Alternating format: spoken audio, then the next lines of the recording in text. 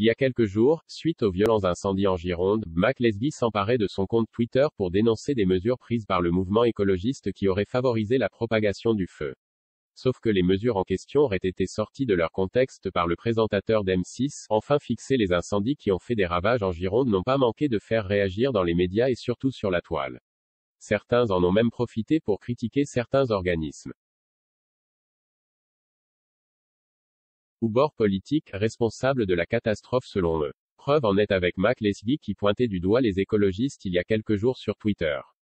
Toutefois, l'animateur aurait utilisé des arguments sortis de leur contexte, ce n'est pas la première fois que l'homme aux lunettes se fait reprendre sur la toile.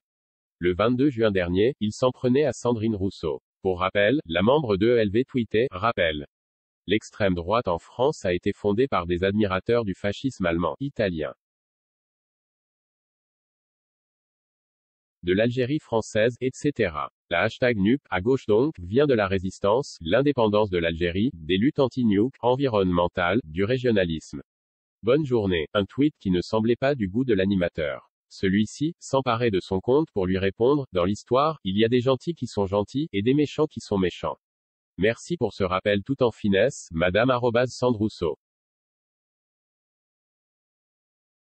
Et bravo aux professeurs d'histoire qui vous ont accompagné jusqu'au baccalauréat. Suite à cette réponse, de nombreux tweetos ont accusé Mac Leslie de défendre l'extrême droite et n'ont pas hésité à le tacler violemment. Des arguments pas utilisés de la bonne manière, mais le 15 juillet dernier, il commettait une nouvelle bourde qui a suscité de nombreuses réactions. Des écologistes se félicitaient il y a un an d'avoir empêché les aménagements souhaités par les pompiers pour protéger la forêt de la teste de bûche du feu. Aujourd'hui il n'y a plus d'arbres, accusait Mac Leslie en reprenant le tweet de Vital Baud, membre du groupe écologiste et conseiller régional de la Nouvelle-Aquitaine qui écrivait le 13 juillet 2021, Victoire, grâce à l'intervention de Monique de Marco au Sénat, le gouvernement suspend le plan simple de gestion de la forêt usagère de la Teste de Bûche hashtag Adioufou.